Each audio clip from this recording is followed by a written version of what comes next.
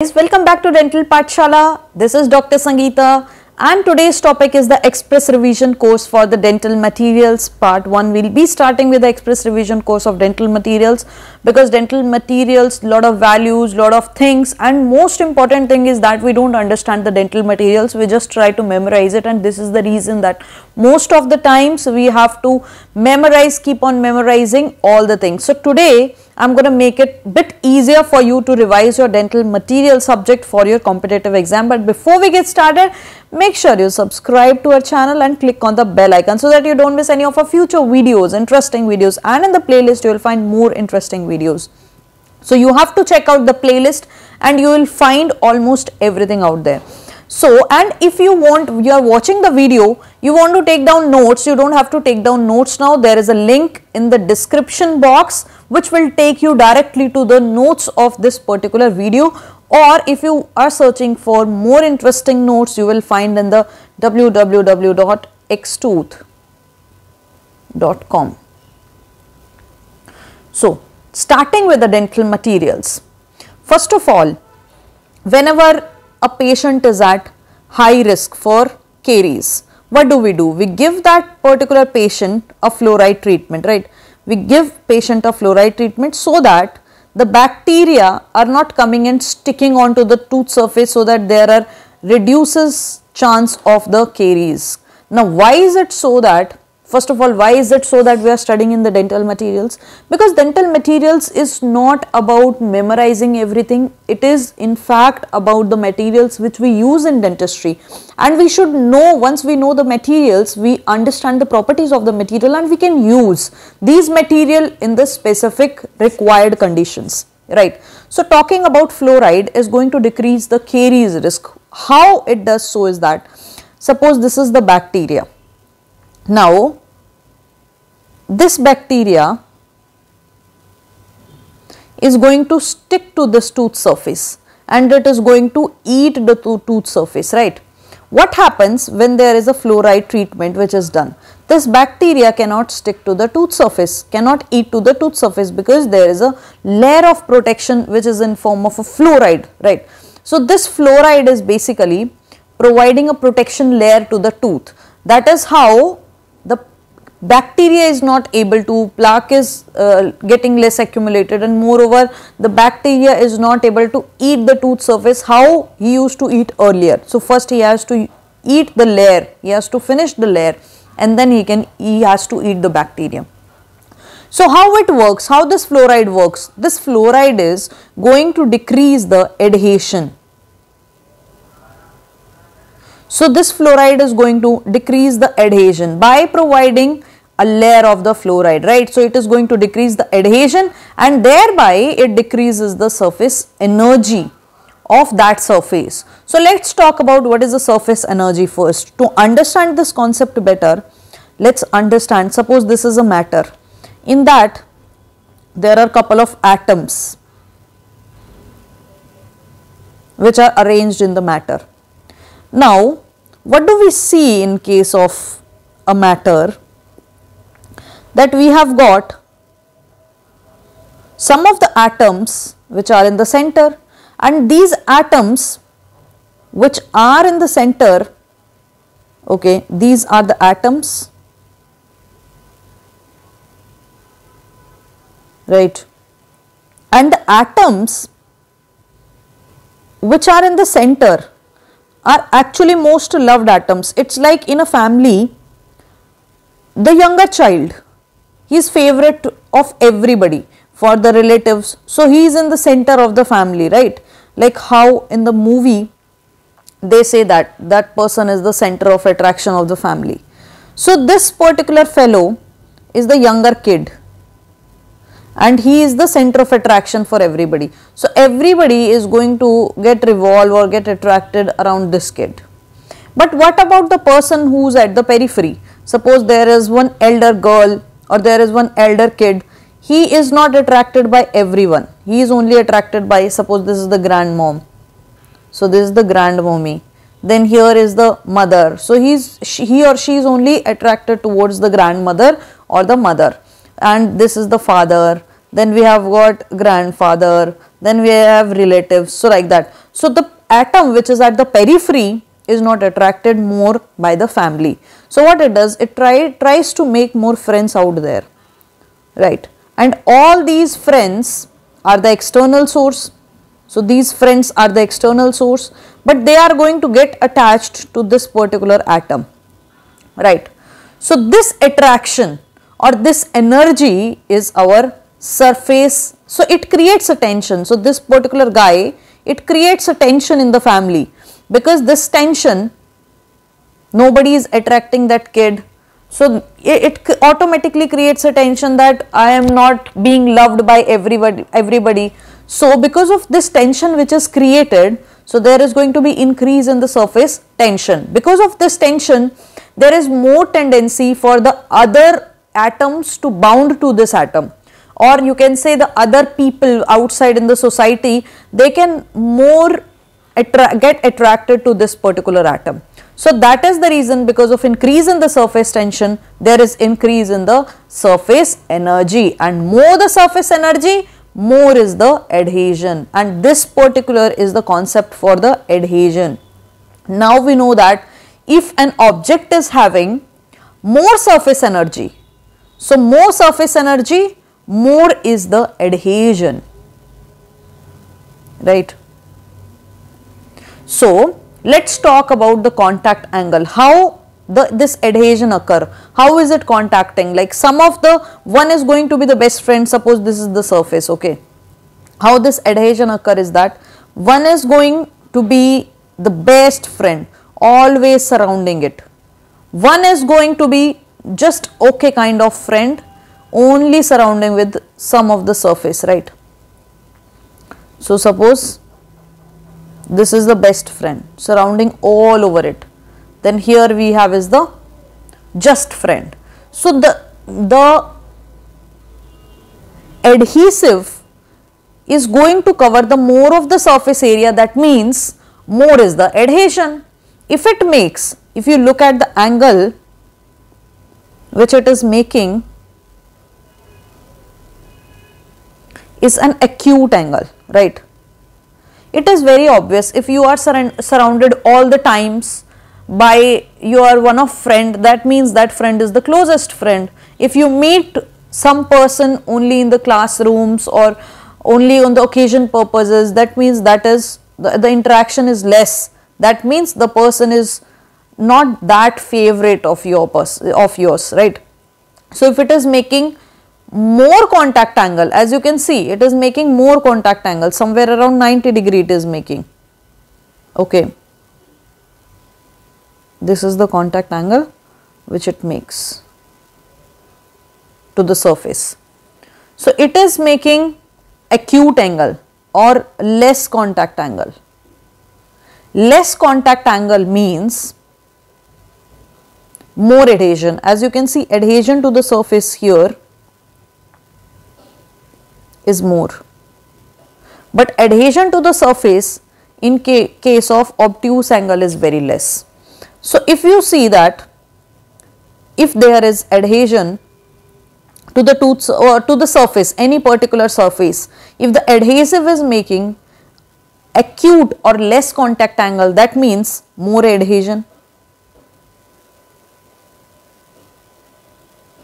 right if it is making more contact angle, obtuse angle, then that means more contact angle, the angle is more.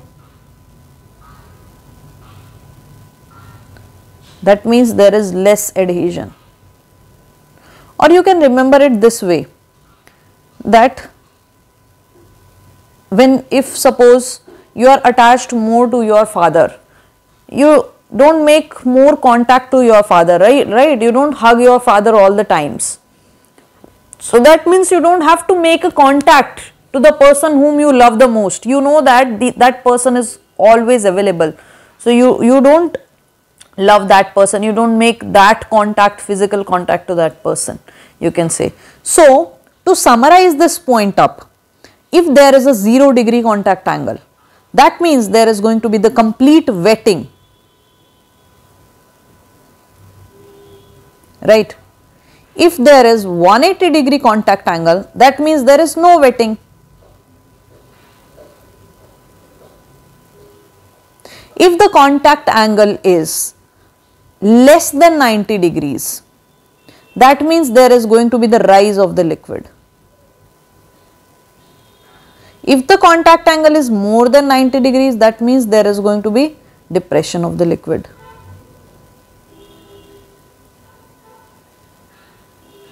So basically what have we what have we learned till now is more the wetting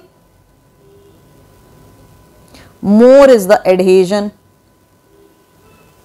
more is the adhesion and more is the contact that it makes with that uh, surface. So, more the adhesion, less is the contact angle.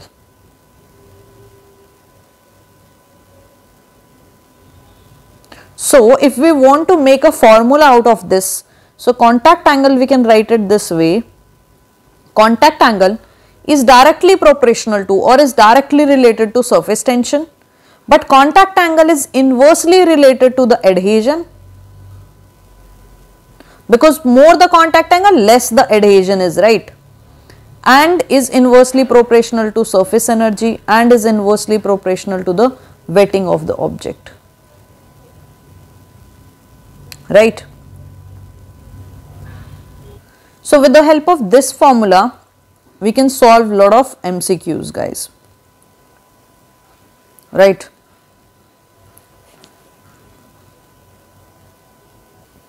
So guys, let's talk about the properties of dental materials. So, stress, which is the internal resistance to the force by an object is equal to force, which is the load which is applied divided by area, the surface area of an object. That means the stresses are inversely proportional to the area. So, if I say that small restoration if we are doing that are putting more stresses on the tooth because the area is less. So, if the question is asked what is the formula for compressive stresses? So, the formula would be external force divided by area of the specimen on which the weight rests right? So this is going to be the formula for compressive stress. It is just the formula for the stress right stress is equal to force by area so that is basically a formula so we have written the as the compressive stresses when, when external force is applied on a particular area it will become the formula for the compressive stresses now talking about different type of stresses. So we have got the tensile stress. So what are the different type of stresses? Stress is basically internal force opposing the applied load. Right. So if we are talking about, we have got three kinds of stresses, tensile stresses, we have got compressive stresses and we have got shear stresses. Right. Talking about tensile stress. So, tensile stresses, suppose this is the object. Tensile stresses are the stresses which are acting on the stretching of the object or the elongation of the object. So, when we are applying the pressure, the material is stretching. So, the material is going to become like this when the tensile stresses are acting. So, the material now becomes elongated, right? Compressive stresses, the second type of stress, compressive stress. As the name suggests, it is going to compress the object. Compressive stresses. It is going to compress the object. Suppose if the object was like this. Now, when the compressive stresses are applied the object is going to become like this. So the object has undergone compression or the object has become short. As you can see here the object has become short right? When the compressive stresses are applied. The third one we have is the shear stress. Shear stress is basically the twisting or the sliding. So suppose this is an object and once you are putting the rotatory forces all over here so it is going to become like this with the rotation right? So this is the shear stress which is the sliding or we can say twisting twisting or sliding forces are applied. See oh, this is opposite in direction the forces which are applied on the shear are basically opposite in direction but not along the same line. We are not talking about the same line. The lines are different but the opposite direction. Right? Now talking about strain. When the stresses are applied there is going to be change in the object. So object is going to deform. Change in positioning or deformation of an object due to stresses is the strain which is created in that object. So basically strain is equal to deformation which has occurred in the object due to the stresses divided by the original length and this gives us the idea about the strain which is produced due to stresses. So, if somebody is stressing up, exam are coming, you have exam, why are you not studying, rest everybody studying. So, this is a kind of stress and in the strain we get migraine, right. So, that is a kind of strain. So, that is the end result due to stress. So, let's just go through one diagram and understand rest of the things. So, guys, this is a stress strain curve. We are going to plot right now the stress strain curve. Once you start plotting the stress strain curve, you will see that initially there is going to be directly proportional to stress and the strain. So up to some point the stress is going to be directly proportional to the strain and after that point you will see that the ratio is not the same anymore. This is up to some point and after that point okay the point at which the stress is directly proportional to strain is basically our point P. P point is the proportional limit. So within the proportional proportional limit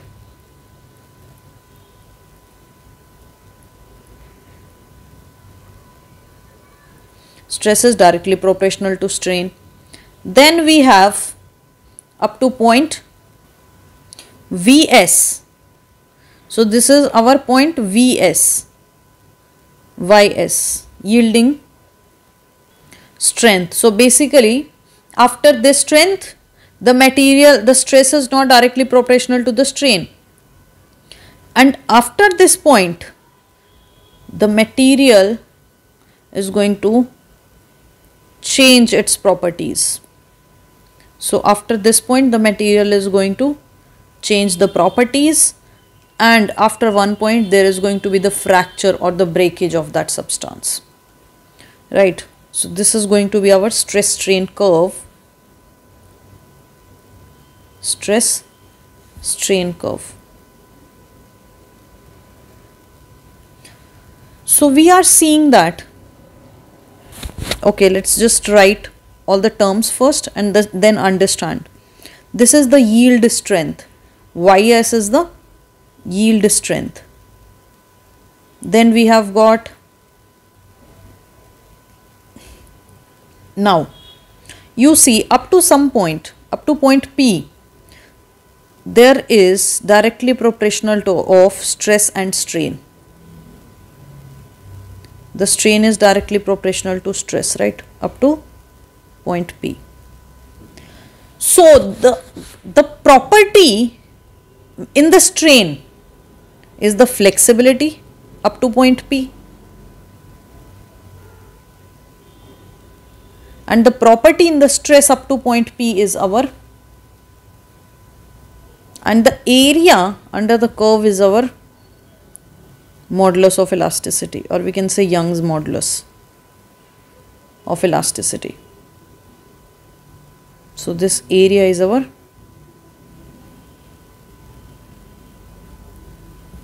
this area is our modulus of elasticity.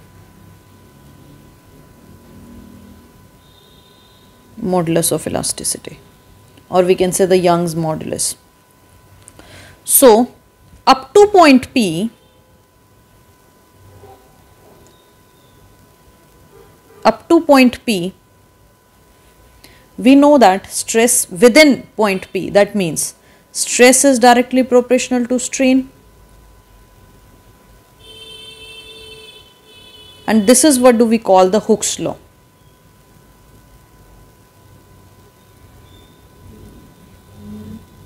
It is very important that you understand this. Stress is directly proportional to strain up to the point P, not beyond that. Beyond that, beyond the point P, the stress is not directly proportional to strain, right? Then one more thing, the total area under the curve, the total area under the curve is our toughness.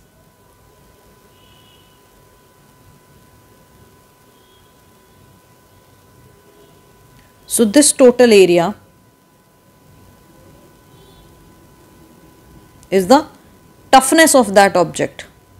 That means how tough that object is. That means how long it is going to take until it fractures. If it is in fracture, if it fractures very easily, very soon, if you apply a little bit of force and it, it fractures, that means the object is brittle object. If it is not fracturing soon, that means the hard object, right? So modulus of one more thing is there modulus of elasticity MOE modulus of elasticity or you can say Young's modulus.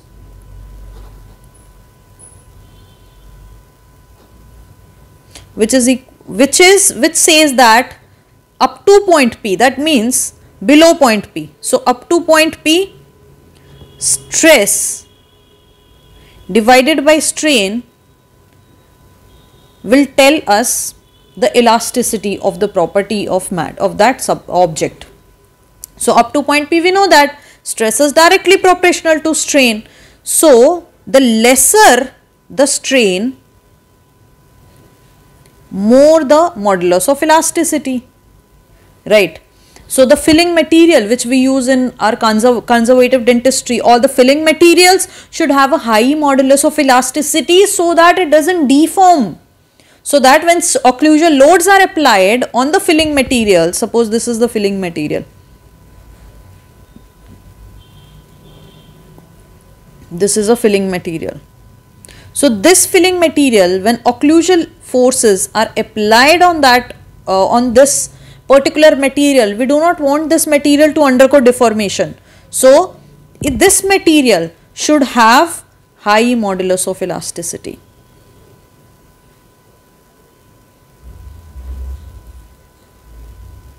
Right. So, proportional limit is the maximum stress an object can take uh, without going the permanent deformation right. Now talk about few more terms the plastic behavior. Now talking about the yield strength. If you have seen this particular part is our yield strength this particular part is our yield strength right? So ys is the yield strength. So basically after the p which is the proportional limit now one more p is there poisson's ratio is there. Let's write poisson's ratio also. So poisson's ratio is a ratio of course as it signifies in the word itself in which lateral strain is divided by axial strain. What do we mean by that? We mean increase in the length divided by decrease in the cross sectional area. Right. So, this Poisson ratio normally is 0.3 to 0.5 value for an object. So, we were talking about the proportional limit. Proportion limit, uh, I told you know, up to this area on the object is going to be the elastic limit of that object. So, it is going to be the elastic limit. That means when stresses are applied, there are strains, equal, equally strains which are coming on that object. That means that object is elastic up to point P and it start losing its elasticity when it reaches the yield strength. So, basically beyond point P there is a yield strength and yield strength is yield strength is the material which has started deforming. So, there is some limited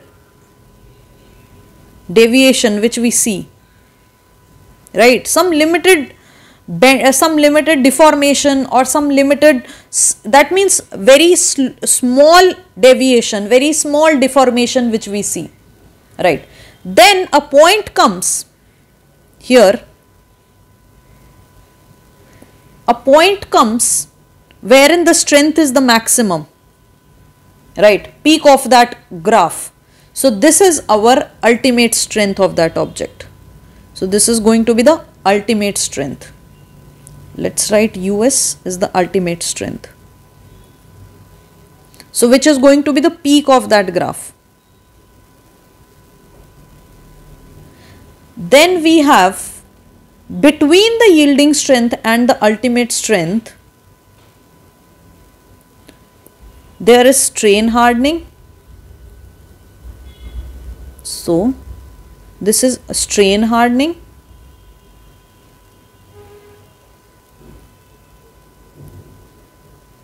And after that is necking.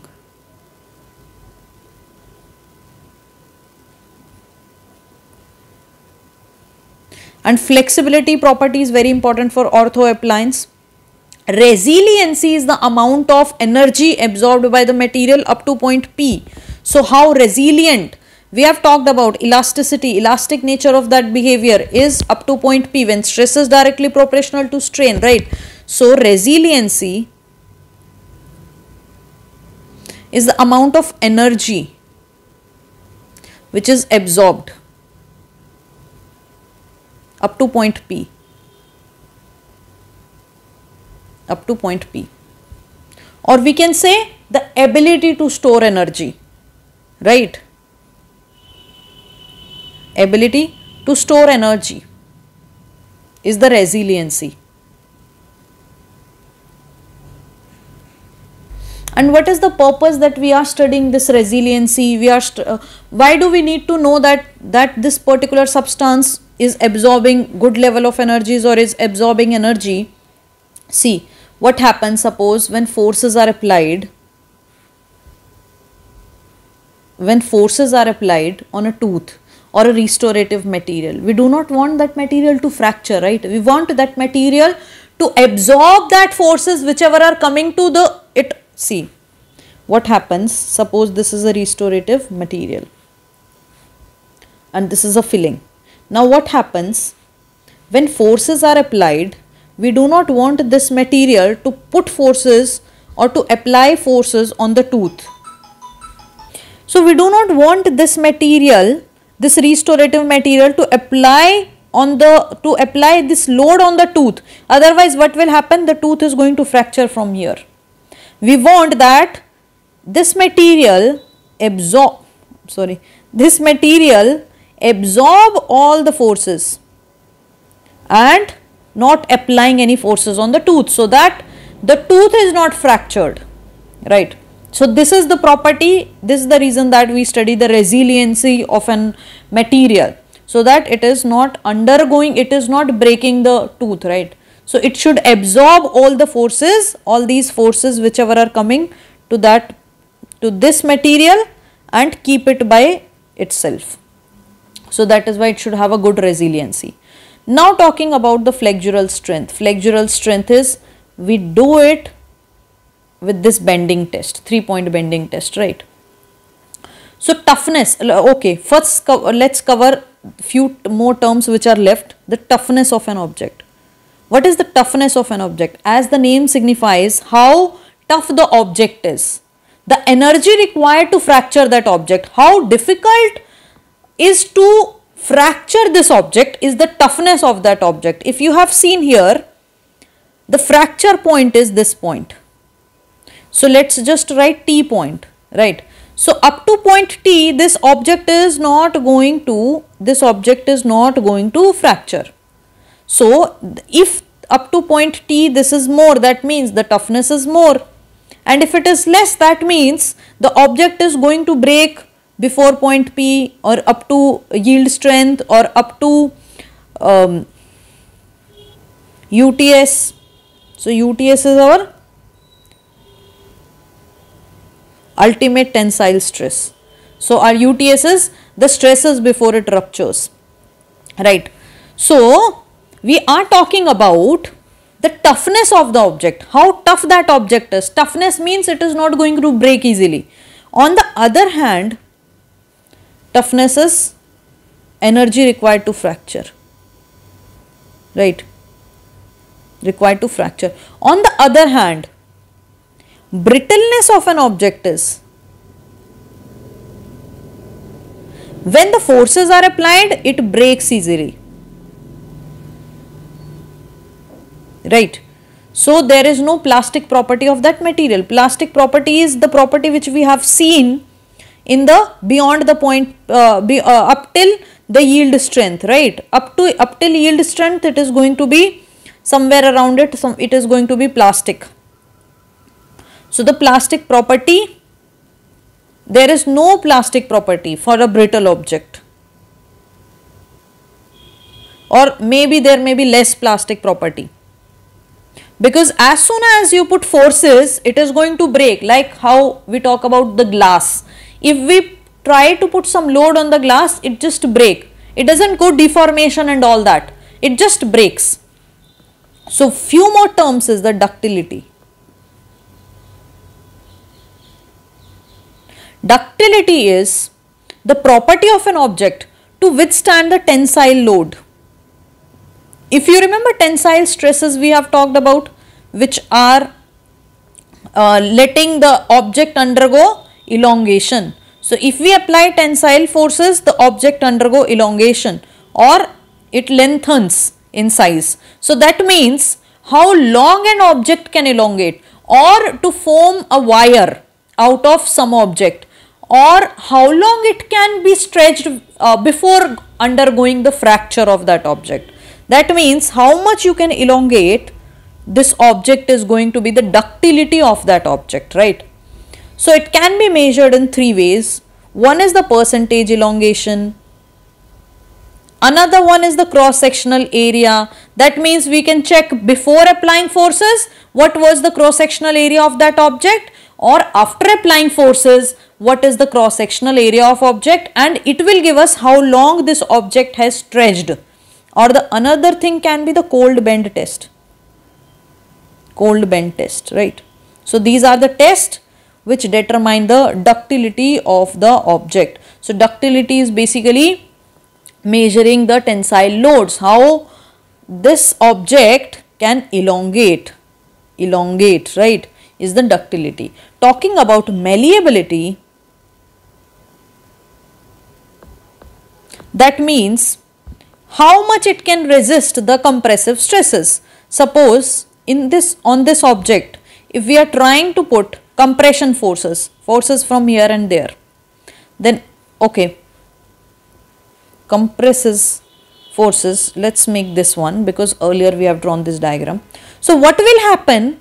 It is going to become like this, right, on the compression. So, malleability is the property to resist or to withstand the compression forces.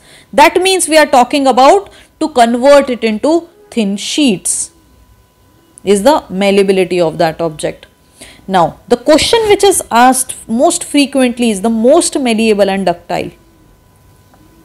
The most malleable and ductile which is definitely definitely our gold which is the most malleable and the most ductile material. Second most malleable and ductile material is the silver. Third most malleable and ductile is the copper. Third, copper is the third most malleable and third most ductile is the platinum. Is the ductile. So, this is very important for exam viewpoint, the most malleable, second most malleable and ductile, third most malleable and ductile. So, ductility is the property how long you can elongate before the material get fractures. It can be measured via percentage elongation, cross sectional area and cold bend test. Malleability of a material is how you can convert it into how it can resist or withstand the compression forces. That means converting that material into the sheet and the most malleable and ductile material is the gold. So, the most malleable and ductile material is the gold. Talking about hardness property of an object. Hardness property, see there is a difference between toughness and hardness. You have to understand this. Hardness is resistance to abrasion. Abrasion so, one more thing, suppose this is the surface, okay. Suppose this surface is, we have talked about in the CD, suppose this is soft silicone. If you are trying to scratch it, take a needle or some pointy thing, it is going to get scratched. And there is one more material like resin. If you are trying to scratch it, it is not going to get scratched like this. It is not going to get scratched. So, this material is the hard material. So, this is the difference between the hardness and the toughness. Toughness is related to the breakage of the material that the material is not going to undergo fracture. Hardness is the abrasion related to scratching, scratching of that material and the hardness depend on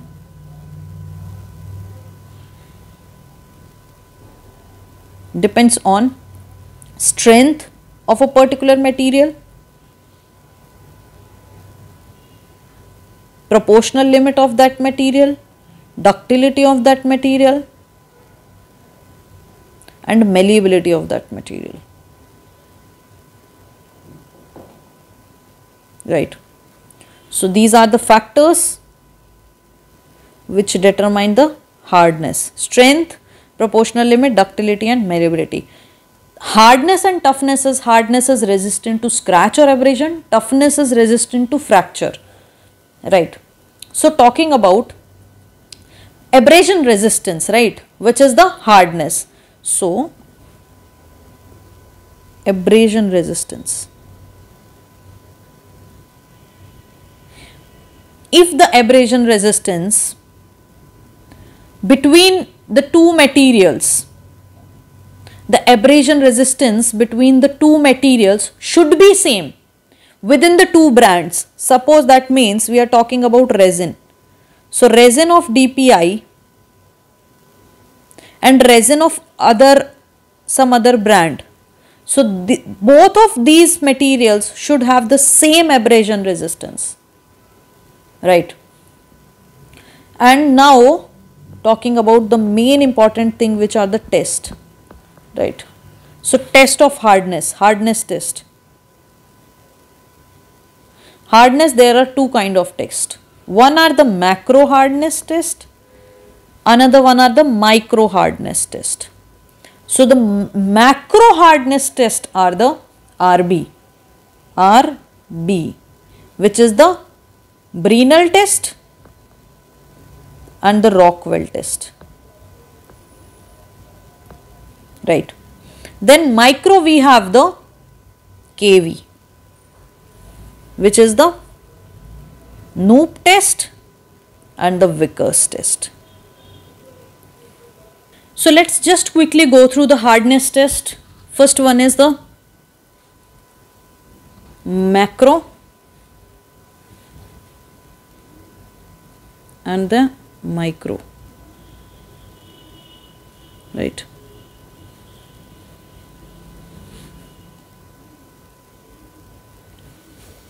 So talking about the macro hardness test.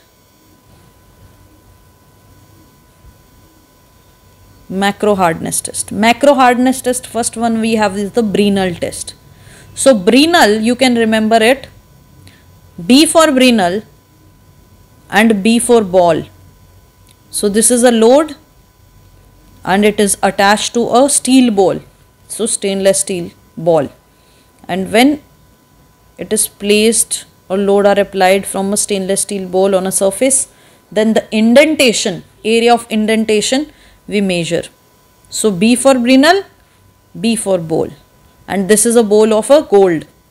So we use it for gold alloys right so a ball of gold, the Brinell test, right? So this Brinell test is done for gold alloys. So BHN, how do we measure BHN? BHN is equal to load divided by area of indentation, right? Area of indentation. How uh, how much the area it has made the indentation in indentation. Next one we have is the Rockwell test. So rock, you have to make a rock, right? So this is the load and it is applied with a conical diamond point. So this is a conical diamond point, a pointed rock. Okay. So this is a conical diamond point. You can remember it, a rock of diamond. A bowl of gold, a rock of diamond, right? Then we have the micro hardness test we have got. In the micro, we have the Vickers test. Vickers test is when load is applied to a pyramid. So, a pyramid.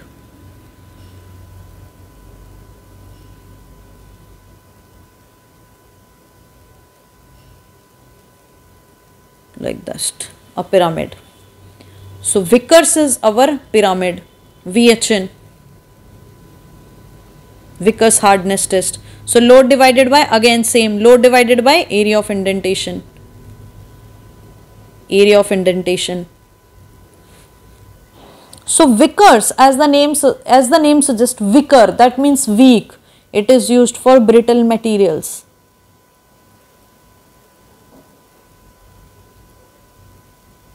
brittle materials. Right? Vickers weak. That means brittle materials. So therefore it is indicated for gold and dental casting alloys.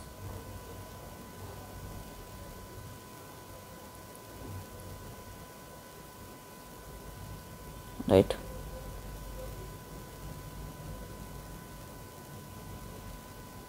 but it is contraindicated for elastic materials. So it is not used for elastic materials. Next comes the last one which is the Knoop hardness test. So Knoop hardness test is again also a diamond indentation.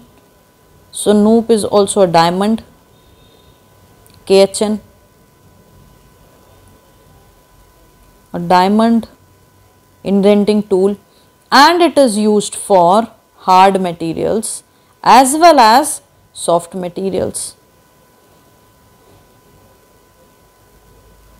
Both of the materials.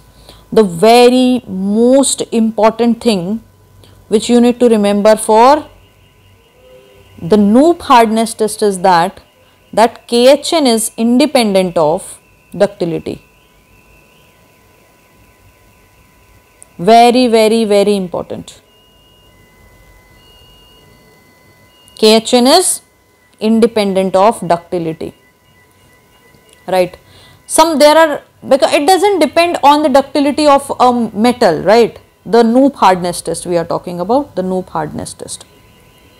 Now there are also some other tests which are used for plastic and rubber materials like Shore test, Barcol test which are used for plastic and rubber materials, plastic and rubber materials.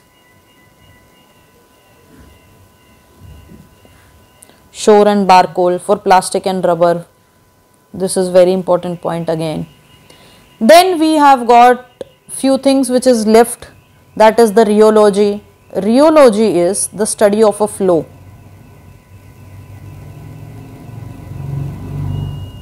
And resistance to flow, see study is the rheology, resistance to flow is the viscosity of that material, right. Viscous, how viscous that material is. If you compare water with a honey, then honey resists the flow it flows very slowly. So, honey is viscous. Then thixotropic creep is before melting, deformation due to softening right before melting. Then we have got creep which is the time dependent plastic deformation. That means with time when a material undergoes the plastic deformation slowly slowly it is undergoing plastic deformation. So, it should not happen in the material. If occlusal forces are applied, then the restorative material should not undergo plastic deformation. Suppose creep is, suppose if you have done undergone with a filling, tooth filling. So, after 2-3 years it is undergoing deformation, it is going to deform so, we do not want this to happen. So, there should be a low level of creep in a dental material, right, in a, in a filling material. So, the creep is of two kinds, a static creep when constant forces are, are applied, dynamic creep, dynamic creep. Then few more points related to colors, the color more sensitive to human eyes, human eyes. the most sensitive color are the yellow color and the green color. So, green color the most sensitive to human eyes and this is the reason that I use it as highlighter. Least sensitive are the red color and the blue color. So, these are the least sensitive colors. Then we have hue Croma value which we have covered in the previous video also in complete denture series also we have covered. Hue is the basic color of an object. Chroma as we go to chroma stores on Saturdays right Saturdays S for Saturday S for saturation of an object, the dullness or the vividness of an object. Then value, value is the darkness of lightness, darkness or lightness, darkness of lightness of the color of shades, right. Then the metamerism that means that also we have covered this all this we have covered, covered in the complete denture lecture series. So, metamerism is basically different color under different lights, right. So, that is the metamerism.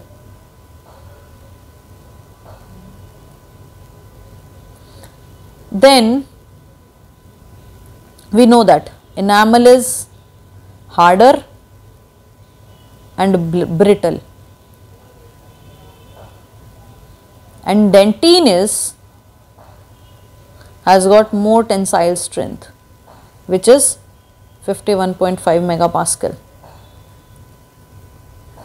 So, tensile strength for dentine is 51.5 for enamel it is somewhere around 10.3 megapascal right. Then we have got modulus of elasticity. Modulus of elasticity the reason why enamel is harder or brittle is that the reason why it is brittle is that and harder also.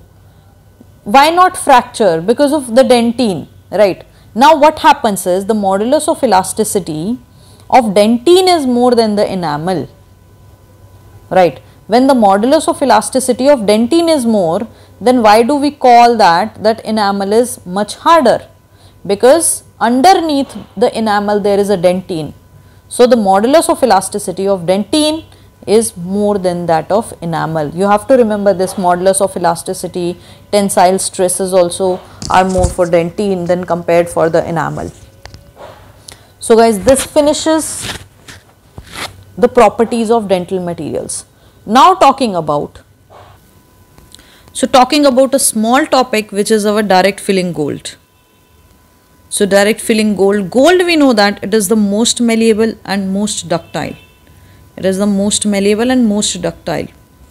And also it sticks like if you talk about gold, this is one foil of gold. This is another foil of gold. It sticks so it is very cohesive. It has got good welding properties. So gold is comes in 24 carat we know that 24 karat gold is 100% pure or the purest form of gold. So it is same as 99.99% pure gold. So how do we see the purity of the gold is in form of the carat which is parts of pure gold in 24 parts of which is the purest form right? In 24 parts of an alloy. And this is how we calculate the carat of the gold. So for example if i say 22 carat gold that means that means 22 parts of gold and 2 parts of some other alloy right? So gold is one of the most ancient filling material of dental history. And but the reason behind we don't use gold anymore is because of the aesthetic reasons and also it is very expensive. So there are many drawbacks. Even though it has got a gold welding properties but again it has got few drawbacks. Talking about the gold we use it in three forms as foil as electrolytic precipitate, electrolytic precipitate and as the powdered gold. As the powdered gold. So the foil is one of the oldest method and foil is like sheet. If you have seen aluminum foil which we use or the wrapping sheet like that. So it is one of the oldest way of using and it has got better property. Now foil is in form of again sheets, rope, cylinder and sheets which come in are there are sheets number 3, number 4 sheets. So number 3, number 4 sheets these are the sheets. Number 3 sheets are the 3 grain sheet that is 0.3 micrometer. Number 4 are the uh, 4 thickness are the 4 grain sheets. So number 3 is the 3 grain, 4 is the 4 grain. That is why number 3 and number 4. So basically they are these sheets are used along with the electrolytic precipitate and the power powdered gold. So we use these sheets along with electrolytic precipitate and we also use along with the powdered gold. We are going to talk about when we are talking about the powdered gold and all.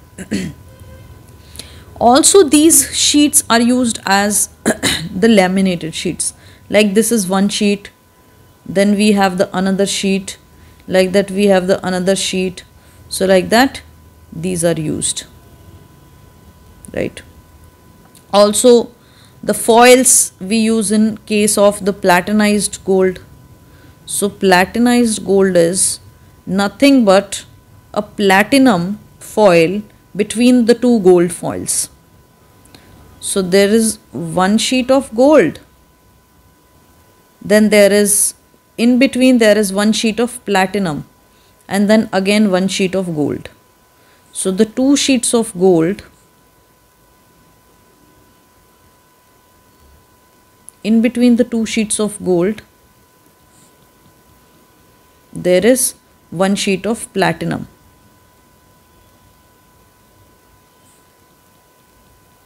So there is one sheet of platinum in between the gold, two layers of gold, right? This is the platinum gold. So in the platinum gold, we use number 4 sheet. We have talked about right now number 4 and number 3, right? So number 4, number 4 and then we have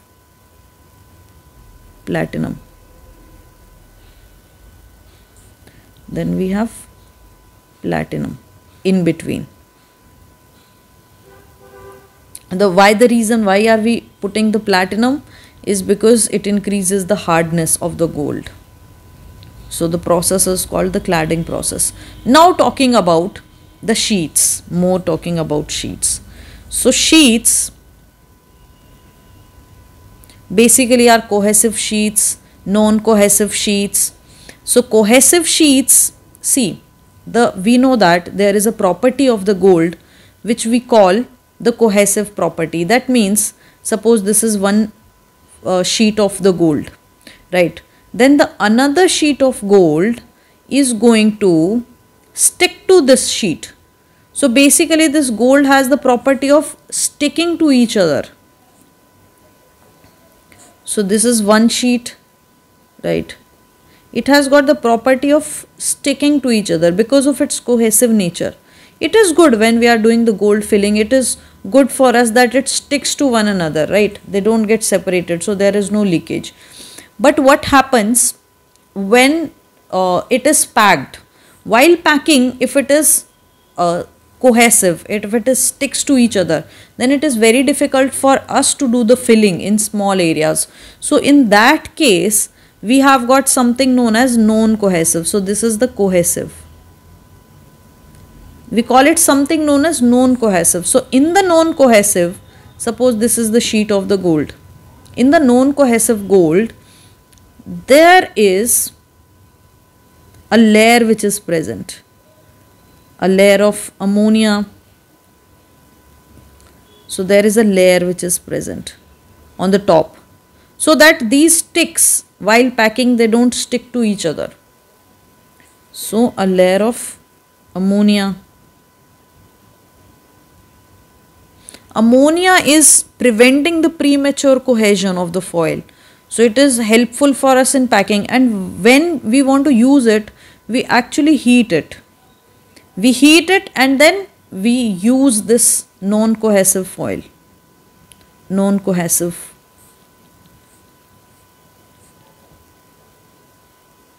foil. Or either it can be covered with nitrogen, oxygen, so all the gases. So while we are heating this non-cohesive gold and using it for the filling material, so this heating is removing the gases so that the gold can be the gold can be cohesive inside the cavity right this process is what do we call the desorbing or the degassing. Direct filling gold is a very small topic. It's very easy and a small topic. So desorbing or degassing can be done in two ways. One way is we are doing with the help of annealing which is the electricity. Annealing. Annealing is done from 340 to 370 degree Celsius for somewhere around 5 to 20 minutes. So this is annealing is done using the help of electricity. We can also use the flame of a gas. So we can also use the flame. The another way is we are using the flame. So one is we are using annealing we, are using electricity to remove the layer which is present during the packing so basically to remove the gas layer we call this process the degassing or the desorbing right so desorbing or degassing can be done in two ways. One is when we are using an electricity to do it that is the annealing. Annealing is done for the bulk purpose. And when we want to do it in pieces we use the flame which is the alcohol flame. So we use this alcohol flame which is most of the times is methanol or ethanol.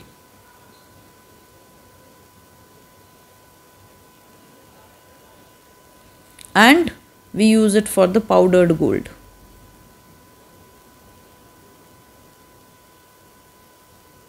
Right.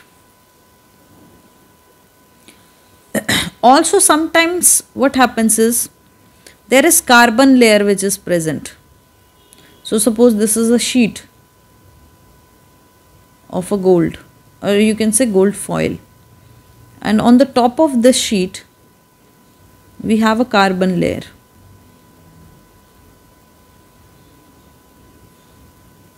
So this is the preformed gold.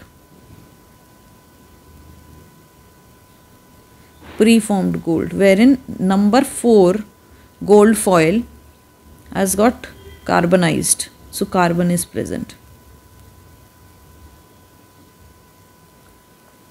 Then this is about the foil. In the foil we have sheets, we have rope, cylinder, then we have talked about the laminated, platinized, so all these things, right?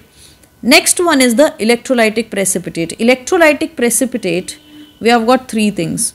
One is the matte gold,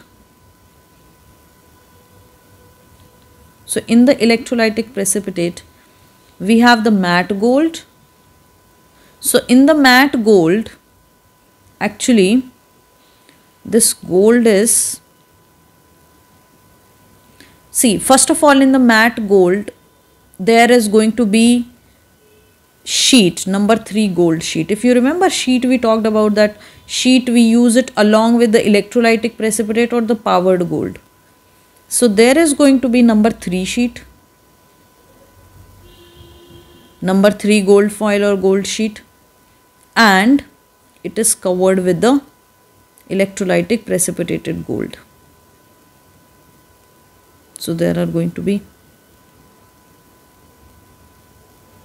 electrolytic precipitate. So basically This is the electrolytic precipitated gold and on the top of that there is number 3 gold sheet.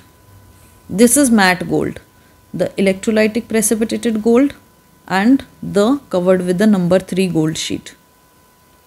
So this is covered with the actually same color so it is let's just draw from the black. So black one is our number 3 gold sheet. This is the matte gold the electrolytic precipitate and then we use it for buildups. So we use it for buildups, core buildup which can be easily compacted inside the cavity. So inside the cavity you can see it is very easy to fill inside the cavity right. So this is our matte gold.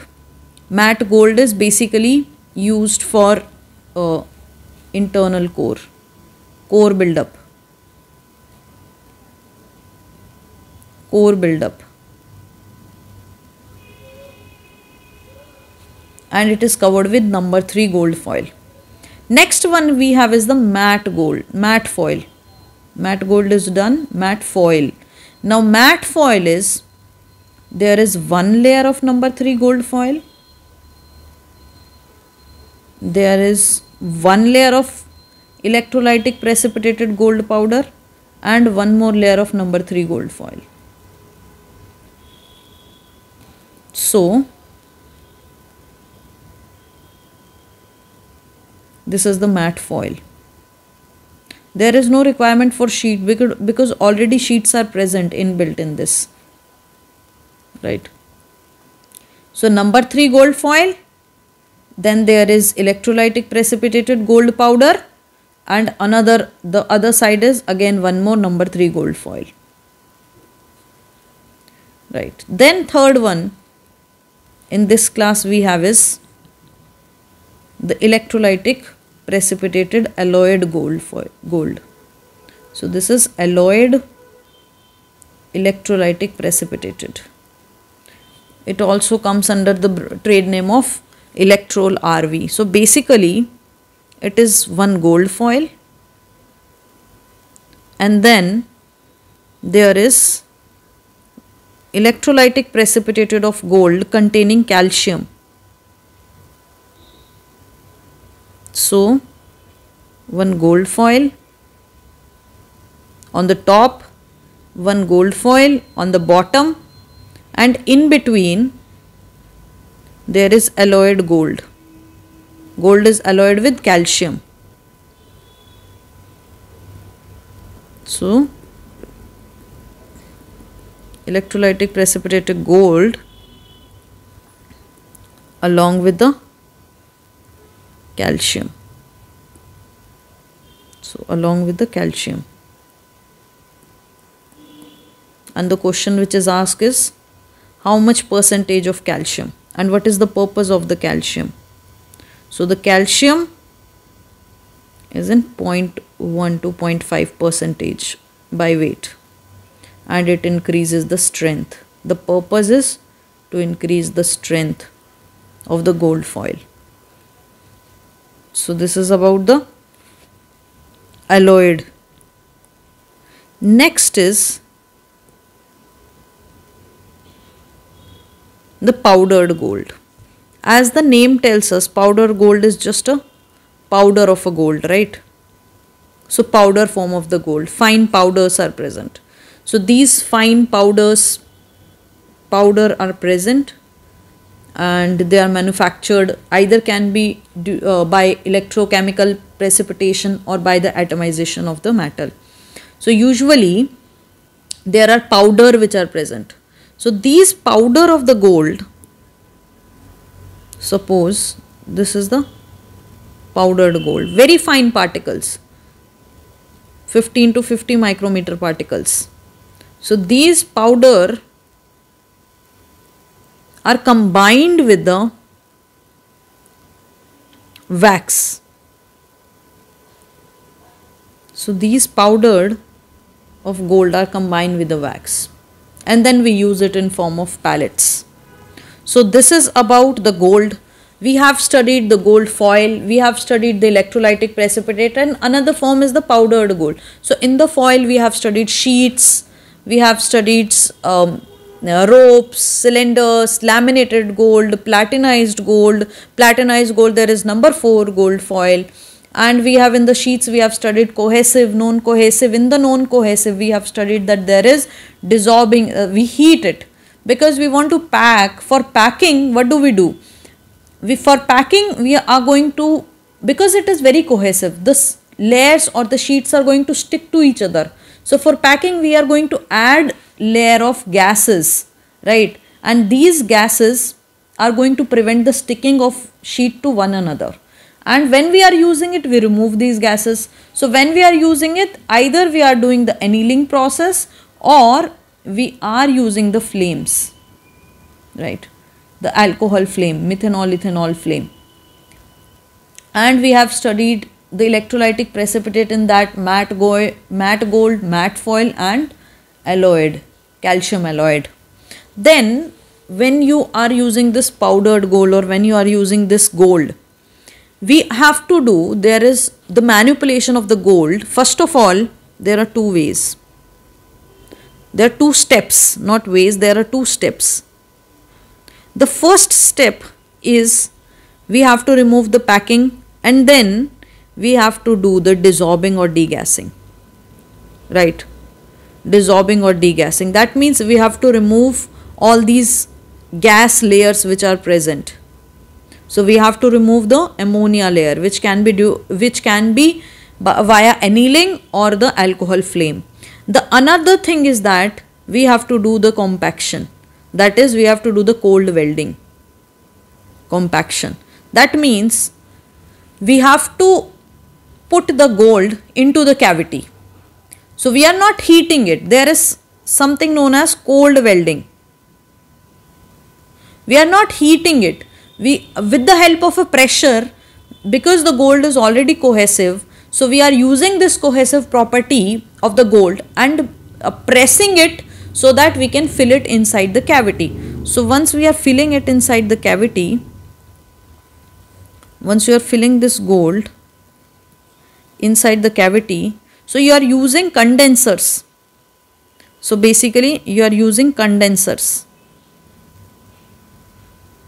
to put pressure, to apply the pressure. Earlier we used to use the mallets. So in earlier days there was mallets like chisel and mallet like that we have we had mallets but now we have pneumatic vibratory condenser or electrically driven uh, driven uh, condensers. So these condenser we there are many tips of condensers. So based on the size there are many tips of condenser suppose oh, there is one 2 millimeter condenser there is 1 millimeter condenser so 2 millimeter condenser is going to put more. Now one more thing I want to tell you one second.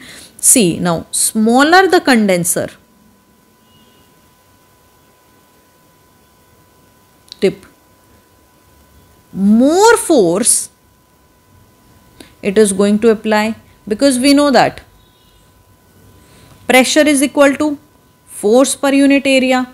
So lesser the area more is the pressure right so we use small condenser tip so that the large forces are applied without damaging the other oral tissues. So we use the small tip condensers. So we have got large tip condenser also, small tip condenser also. So basically their purpose is to provide the compression forces, right? So that is the stepping wherein we are we are processing each increment and we are putting forces from the condenser so that each increment is going to stick to one another like that. So guys this is about the gold DFG direct filling gold it is a very small topic though important one of the important topics. So this video let's just go through whatever we have covered because dental material there is few points which are to be memorized as it is right? So we have covered the degrees of wetting.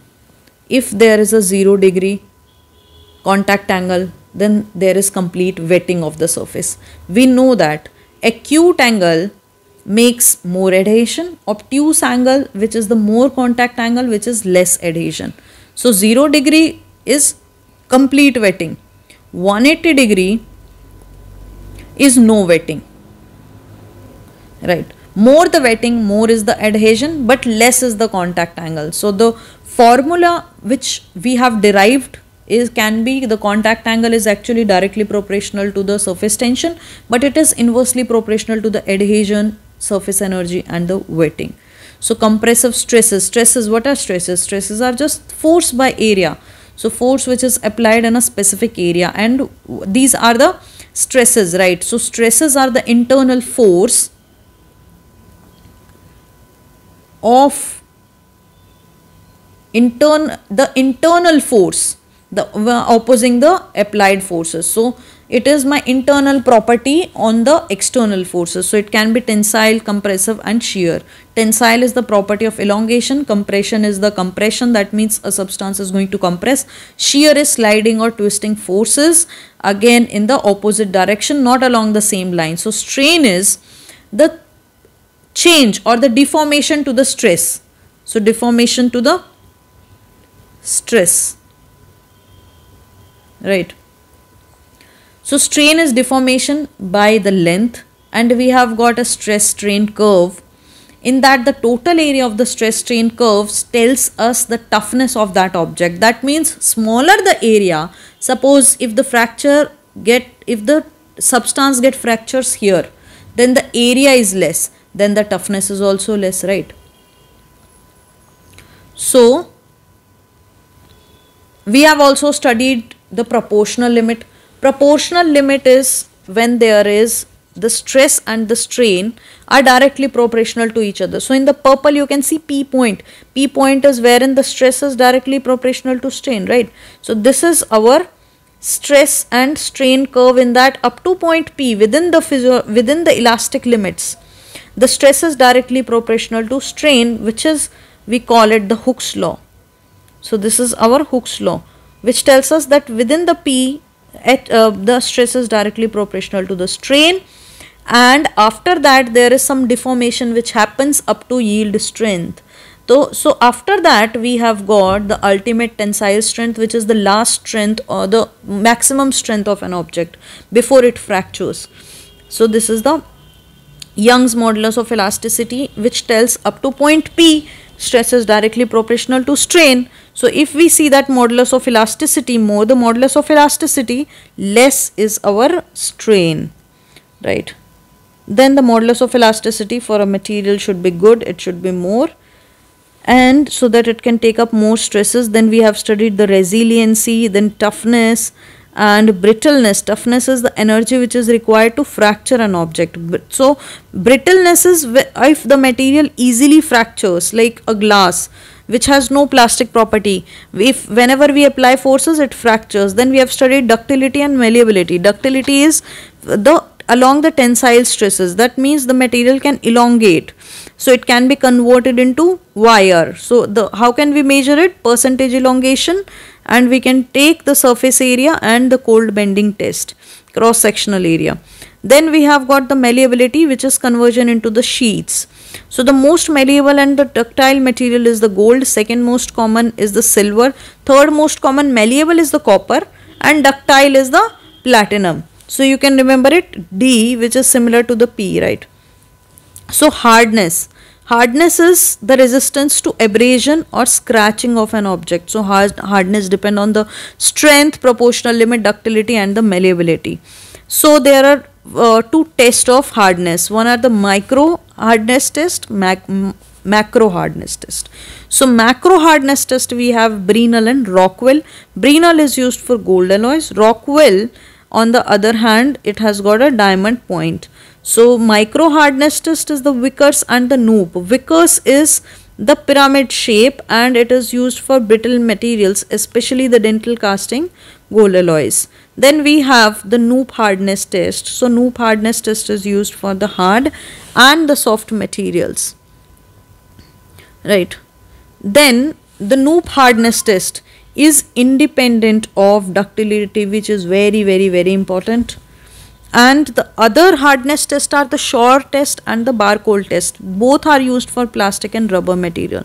So rheology is the study of the flow of an uh, property of the flow of an object and resistance to flow is what do we call the viscosity. Creep is the time dependent plastic deformation. The color which is most sensitive to the human eyes is yellow and green and the one which is least sensitive to the human eyes is red and blue color sorry guys that was my phone. Okay then hue chroma value also enamel is harder and brittle. And dentine has got high tensile strength. So modulus of elasticity is greater for the dentine. Right. Then we have studied about the direct filling gold. We know that pure gold is 24 karat gold and we have studied the foil, electrolytic precipitate and the powdered gold. So guys this is a short video. I've tried to cover only two topics and next video will cover more interesting topics in the dental material. I hope that you guys have enjoyed the express revision course for the dental materials and notes you will find in the description there is a link and if you click on the link it will directly take you to the notes of this particular session or the lecture video. So all the very best for your exam. I know that you are going to do great in your exam. And most important thing is that while you are studying imagine it. So every time whenever you are studying you correlate it with your clinical dentistry so that you can apply it in your clinical dentistry. Not it is not only important to just pass your exam it is important that you learn from your books while you are doing patients. So i hope that you guys have enjoyed the video. So if you have enjoyed the video give it a thumbs up so that i know that you guys have enjoyed the video. And also you can leave a comment in the comment section below and 60% of the people are watching the video and haven't subscribed to the channel yet. So please go and subscribe to the channel. All the videos are free of cost. All the notes are free of cost. So guys keep reading keep learning. Take care